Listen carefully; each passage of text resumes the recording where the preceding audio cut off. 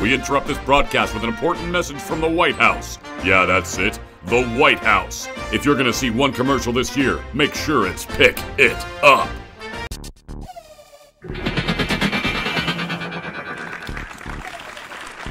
No comedy this time. This time I'm giving you something a lot more valuable.